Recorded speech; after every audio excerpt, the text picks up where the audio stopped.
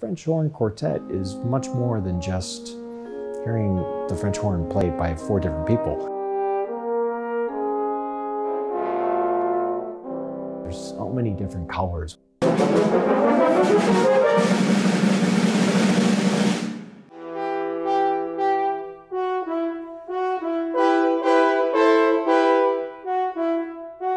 In our programs, we like to say they start conversations.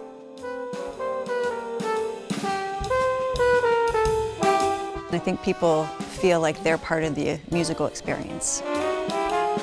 We have two composers in the group. They know our strengths and they can play up on that in the compositions. I know what we can do, and I want to go just beyond that.